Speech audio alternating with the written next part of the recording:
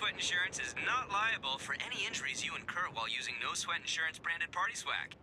This includes ice cream slip and falls, hot dog sand, umbrella impalements, beach ball concussions, and firework oopsies.